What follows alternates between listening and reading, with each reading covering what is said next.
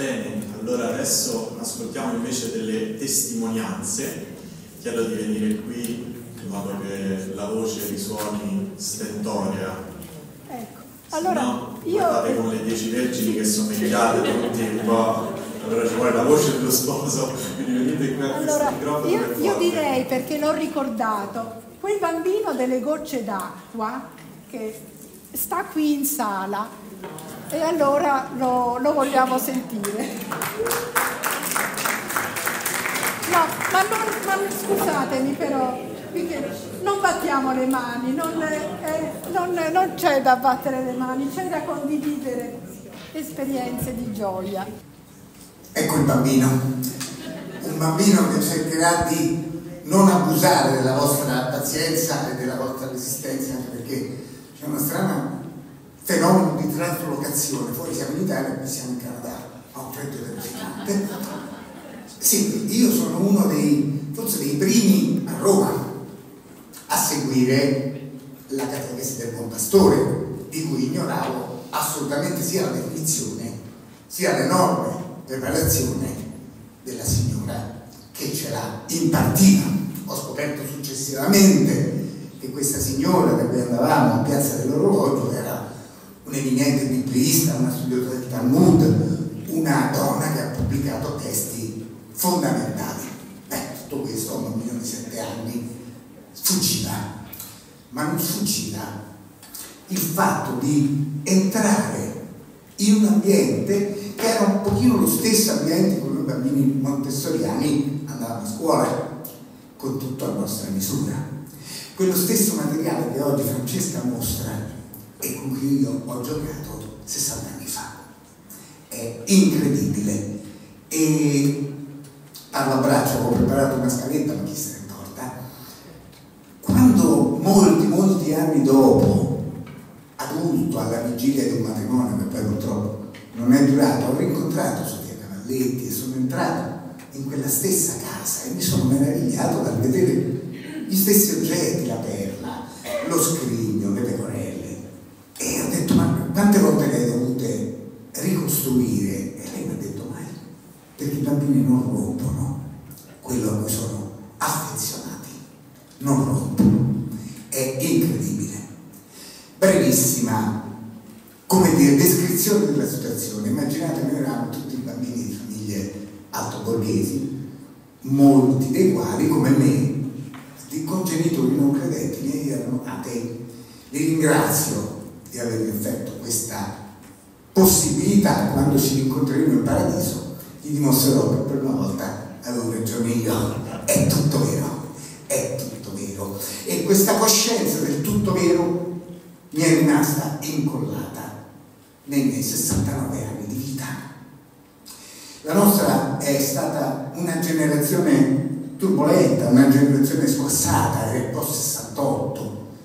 Io vorrei sapere quanti di quei bambini, di quei ragazzi che hanno fatto prima la comunione e poi la cresima, quanti sono rimasti legati alla fede, a questi due doni pazzeschi, questi due doni li abbiamo tutti, ma che forse qualcuno ci deve fare scoprire. La mia anima è immortale e la mia fede, che è come una ginnastica dello spirito.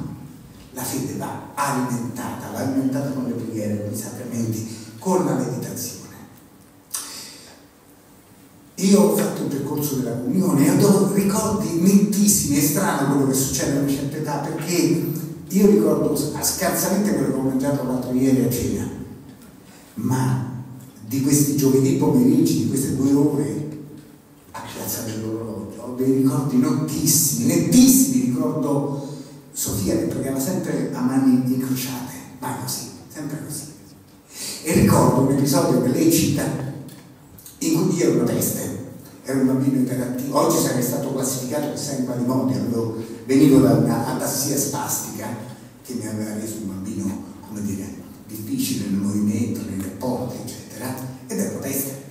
E questa peste un bel giorno vede Sofia e Gianna che hanno fatto la comunione, io ancora non avevo fatto la comunione, ed erano in concentrazione, quindi vediamo, io dissi qualcosa, non riusciva a stare zitto, non riusciva a stare fermo. E Sofia a un certo punto dopo disse è stato molto bello, è stato un momento con la sua solita pacatezza autorevole. È stato un momento molto intenso, peccato che qualcuno mi abbia disturbato e detto un'occhiataccia nella mia direzione come faceva spesso. E io mi risposi se tu avessi voluto veramente pregare non avrei potuto disturbarti. Ho risposto come un monaco zen questa risposta era scritta in uno dei suoi testi. E ha detto una risposta così ti toglie completamente la voglia di fare l'insegnante. Spero di non averla tolta mi soffermo soltanto un attimo ancora ripeto ho promesso di non abusare della vostra esistenza ma sul momento dopo che è stato intensissimo la cresima quasi tutti i miei compagni di, di giochi di classe facevano la cresima insieme alla comunione invece noi facemmo il ritiro e in questo ritiro io ho avuto un momento che ricordo ancora, un momento mi misi, c'erano varie attività, cose, poi c'era questa merenda con gli occhi di bue che ricordo benissimo, e c'era una statua delle Vergine, e a un certo punto ho avuto questo impulso di inginocchiarmi in preghiera, in contemplazione. Come molti altri della mia generazione, io ho frequentato pratiche orientali, tecniche di meditazione, il Taikigum, il buddismo zen. Non ho mai avuto non ho mai avuto un momento di comunione spirituale come quello. E mi ricordo che passavano tutti dietro e davanti, ma nessuno mi parlava, nessuno mi disturbava, perché in quel momento la mia totale concentrazione, che non era ostentata, era assolutamente pulita. La, I ragazzi del 55, come me, hanno preso strade spesso che non portavano a nulla. Sono finiti con una siringa nel braccio, sono finiti con una pistola in mano. Diversi terroristi nella scuola, nel liceo alto borghese che io ho frequentato, sono finiti nelle comuni, sono finiti col cervello in pappa. Anche io ho superato i miei ostacoli, li ho superati. E dopo un periodo di distacco che è durato circa i 25 8 anni, qualcosa mi ha spinto di nuovo in chiesa a farmi accendere la croce, a inginocchiarmi, singhiozzando in un confessionale e a ricevere la mia prima soluzione dopo tanti anni. È stato un momento pazzesco. Chi posso ringraziare? Chi posso ringraziare? Posso ringraziare Sofia, posso ringraziare Già. In questi casi si ringrazia soltanto Dio. Ma questo Dio dobbiamo far conoscere te lo devono spiegare in qualche modo, te lo devono presentare. E io sono felicissimo di aver avuto questa opportunità. Non so quanti bambini del mondo in questo momento stanno facendo lo stesso percorso che ho fatto io. Il mio piccolissimo augurio è di non fare certe esperienze che mi sono toccate, ma mantenere questi due doni fondamentali, la coscienza di questi doni, perché l'anima non ce la regala nessuno L'anima nasce con noi e ci sopravvive, ma la fede qualcuno te la deve spiegare e qualcuno ti deve insegnare ad alimentarla, la ginnastica dello spirito. Grazie.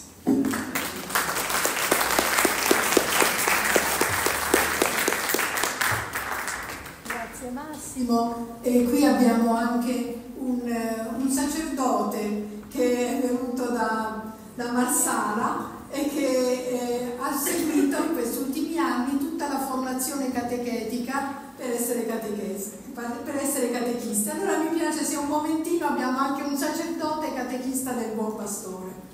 E Don Pietro è venuto apposta da Marsala e quindi mi pare eh, doveroso dargli la parola. Poi ci saranno altri bambini, eh, ci sta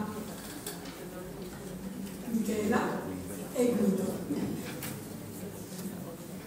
Scusate, voglio dirvi soltanto che in terza fila ci sta Sergio e Carla che sono i primi due bambini del primo gruppo di Sofia Cavalletti.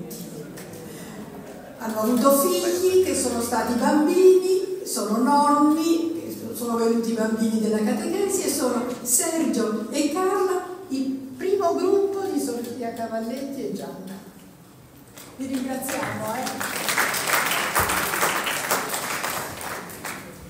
Buongiorno a tutti, buongiorno eccellenza, buongiorno a tutti voi, grazie Francesca. Mi prendo un po' alla sprovvista perché comunque non, eh, non ho preparato niente, non, eh, cioè non, sapevo di fare la testimonianza così. E sono ecco, fortemente emozionato, però parto da quello che, che sento, no? dal sentire. È un modo di comunicare forse la, la cosa più bella, comunicare ciò che ci accade dentro. E io parto da, da, dalla mia esperienza di parroco eh, di Marsala, in questa parrocchia Madonna della Sapienza, è un quartiere sociale, quindi con tutte le, le bellezze, eh, le luci e le ombre di un quartiere sociale. E eh, parto dalla mia esperienza di, di, del catechismo, nel portare avanti il catechismo, quello che, che in tutte le parrocchie si fa e, um, avevo iniziato a fare io una, una catechesi eh, legata un po' anche al, al, contesto dove sono io, la Sicilia, dove avendo fatto anche un po' di teatro mi piaceva fare il gioco delle marionette, tutto questo genere di cose. E portavo avanti questo, questo catechismo. Però eh, sperimentavo che non mi ci trovavo, nel senso, eh, per dirla un po' come si è detto po- poc'anzi, eh, mi sentivo troppo protagonista di questa cosa ero al centro e, e quindi capivo che c'era qualcosa che non andava, nel senso che ero, uh, si incentrava troppo sulla mia persona, la mediazione dell'adulto, eh, si parlava poc'anzi come la mediazione dell'adulto, come essere catechista deve, deve, essere servo e inutile. Per questo era una cosa che io non, non, non, sapevo. Allora quindi mi sono messo a cercare, perché avvertivo, sentivo che eh, ero al centro, ero io. Eh, io non salvo nessuno, noi non salviamo nessuno. E quindi mi sono messo un po' a, così a cercare, a smanettare un po' su internet e è uscita fuori questa realtà che io non conoscevo, nel senso, avendo fatto pure l'università a San Giovanni Evangelista lì a Palermo, studi di, di, di catechesi, mh, mm, non è stata presentata questa realtà. E quindi cerco, trovo questa catechesi del, del, del buon pastore, eh, mi metto in contatto con Francesca e vengo quest'estate eh, così per un colloquio, per conoscerci e lì al, quando lei mi ha fatto entrare nel, nella seconda stanza eh, dell'atrio, la seconda stanza dell'atrio, lì eh, ho detto io, ti dissi questo mm, mio modo di, e tu di, allora dicesti come eh, quei segni ecco, sono così forti eh, da allontanarci dal Signore Gesù. Allora lì capii che questa era la strada, questa era la strada di, di mettere davvero al centro il Signore con, le, con, tutto quello che Francesca ha detto. E devo dire che mh, io mi sono, sono rinato anche come, come, come pastore, come, come parroco eh, l'ho sempre detto a loro, per me sono davvero eh, la mia salvezza, mi hanno dato nuove motivazioni, eh, nuove prospettive, eh, slancio, stupore, meraviglia, eh, tutte cose che ehm, lì in quel contesto o con quella catechesi che tutti noi conosciamo io non trovavo il mio posto. Quindi con la catechesi del buon pastore la mia testimonianza che posso dire così chiudo ho trovato il mio posto. E con tanta fatica perché abbiamo provato a lanciare la catechesi del buon pastore dalle mie parti e con i bambini soprattutto piccoli e non, ancora attualmente facciamo fatica facciamo fatica e abbiamo, fatto, abbiamo provato ad, ad annunziare, a dire che c'è questa catechesi, di lanciarla, eh, ma molte mamme ecco, sono ancora molto restie. Eh, ci sono stati anche, eh, dire, anche discorsi legati a che si è fatta la proposta di questa catechesi dei bambini di tre anni e sono arrivate anche dire, del, delle risonanze di dire ma cosa, la dico brutta, eh? dice ma volete toccare i bambini, nel senso come dire, legato a tutto quell'ambito, a quel mondo della pedofilia, tutto questo genere di cose. E quindi c'è anche una difficoltà, io sperimento questo, quindi questo è anche quello che eh, vi consegno a voi, però dico ecco grazie perché è davvero un dono dello Spirito alla Chiesa, grazie a Sofia, grazie a Gianna, grazie a loro, eh, perché ho trovato il mio posto per quanto riguarda la trasmissione della fede alle nuove generazioni, che è una cosa, come diceva lui, importantissima, una cosa fondamentale. Grazie. Eccomi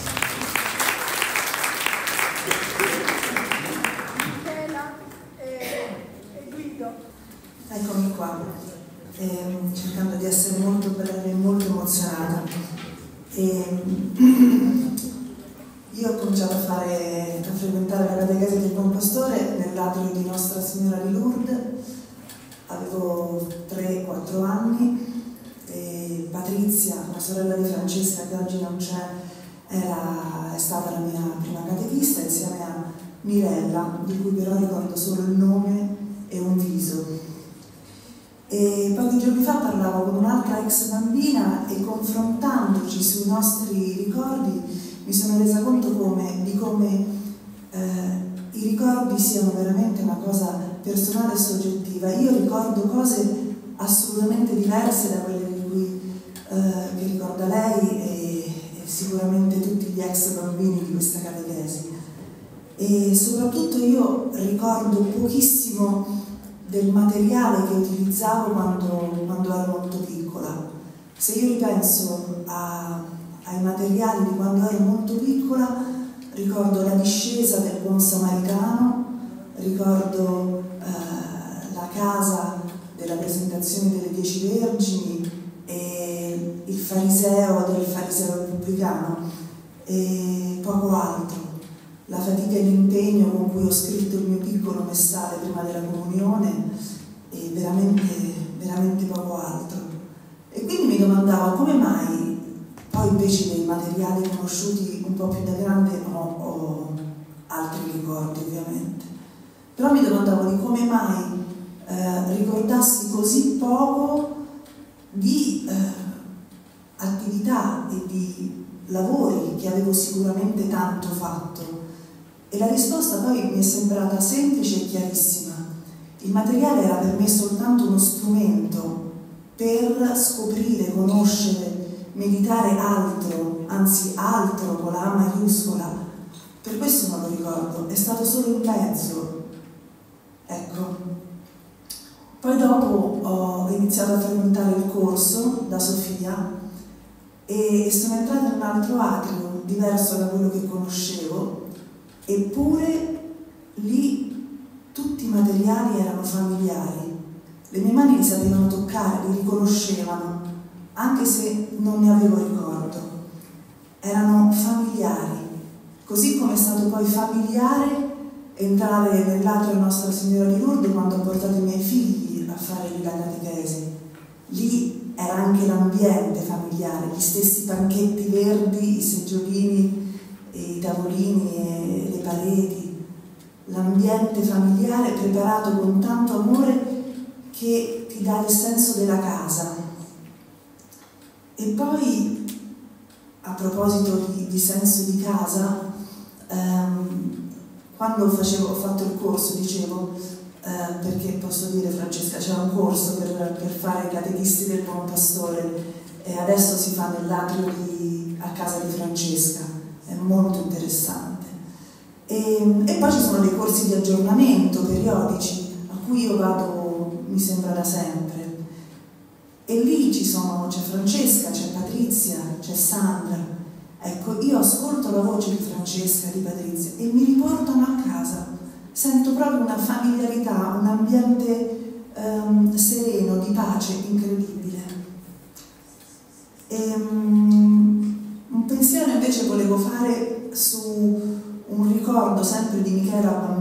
Ex bambina, eh, non relativo al materiale, ma un momento molto particolare, quando cioè abbiamo fatto, eh, si fa la prima riconciliazione, che si fa la sera prima della prima comunione.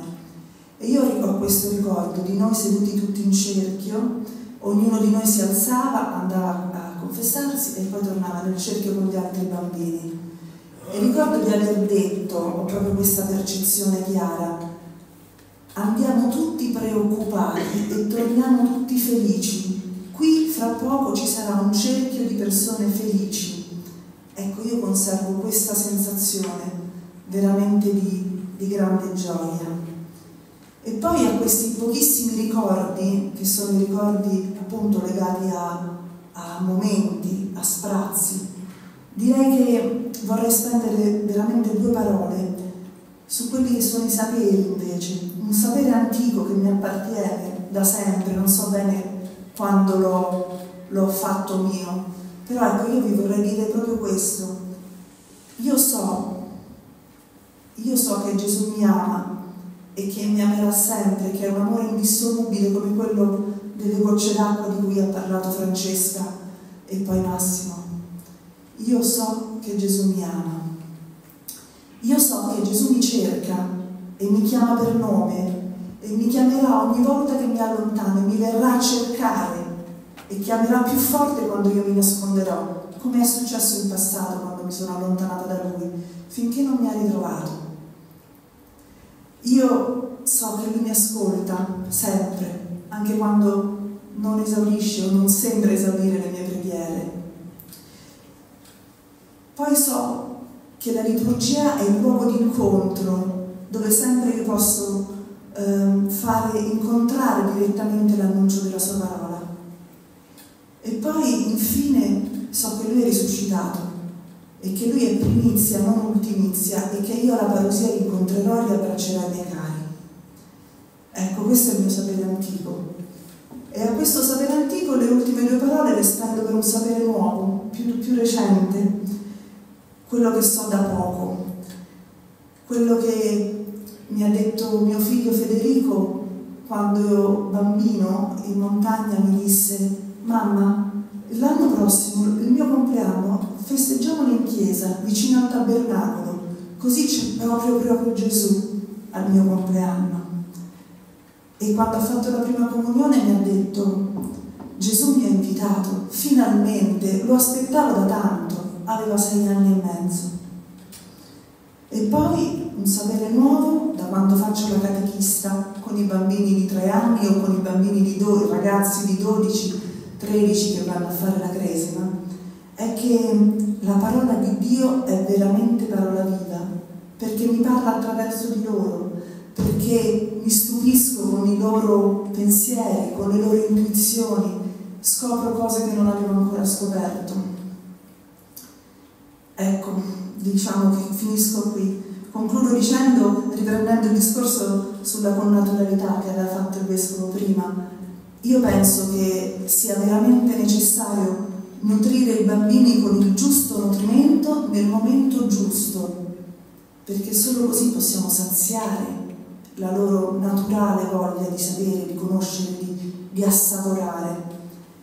E poi perché eh, c'è proprio un momento ingiusto in cui il bambino è incline a far sue le cose di Gesù, o per dirla come diceva Sofia, Dio e il bambino se le intendono.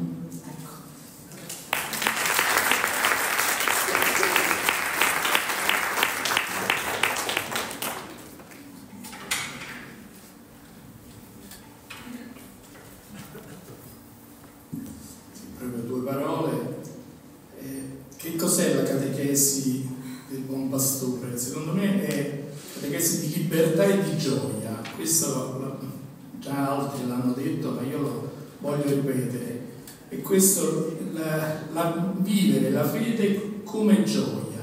Questo è ciò che a me ha dato di più la, la catechesi del buon pastore e che vivo, vivo veramente come fede oggi, come gioia. E, e l'altro è che l'unica catechesi è la parola. E in qui, insomma, io poi ho fatto non soltanto questa catechesi, anche altre, non ho mai fatto catechismo, e, e qui forse non so se è positivo o negativo, ma insomma loro lo sanno, eh, ho qualche difficoltà col magistero, eh, io cerco di leggere la parola e leggo tante cose del magistero, ma le, le considero diciamo un qualche cosa che mh, non è la parola. Ecco. Forse eh, in questo me l'ha detto, io credo che sia questo il messaggio che Sofia ci ha dato leggete e capirete dal Vangelo. E l'altra cosa che voglio dire qui di ricordo di Sofia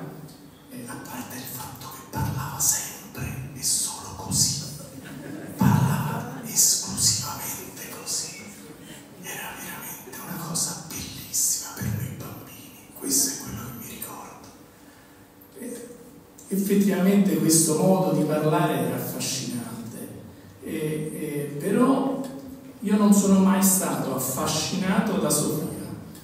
Altri parlano di Sofia di, come lei, e invece io ho sempre, e questo è stato fondamentale ed è stato ripetuto da Francesca, lei era veramente il servo inutile, perché mi ha parlato di Dio, eh, ma non era lei che parlava, eh, ma lei che eh, diciamo era soltanto il, la, il trade union, quello che me lo faceva conoscere.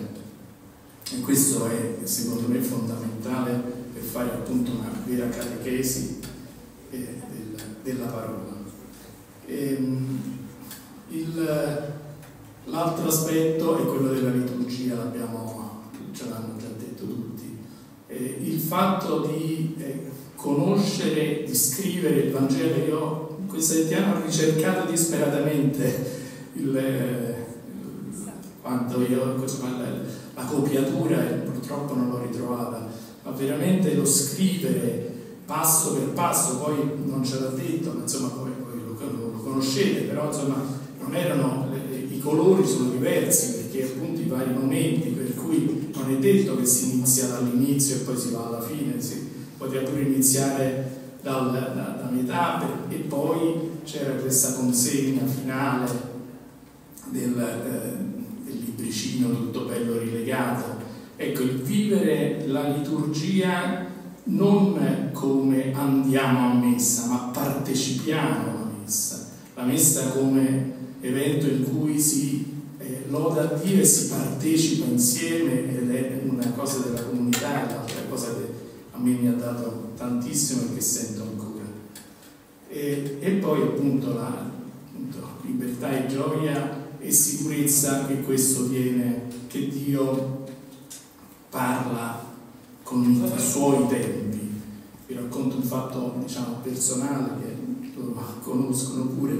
Mia figlia eh, non l'ho portata purtroppo in un atrio ma in un catechismo e a un certo punto lei ha detto io non ci voglio più andare perché si capisce che la suora non ci crede. E per lì siamo rimasti un po' così, però poi vabbè, non importa, ci penserà lui. Poi ci ha pensato anche Don Andrea, veramente molto. Però insomma eh, ha avuto tempo. A un certo punto io ho visto un giorno che si è messa in fila e ha fatto la comunione. Aveva, mi sembra, 25-26 anni.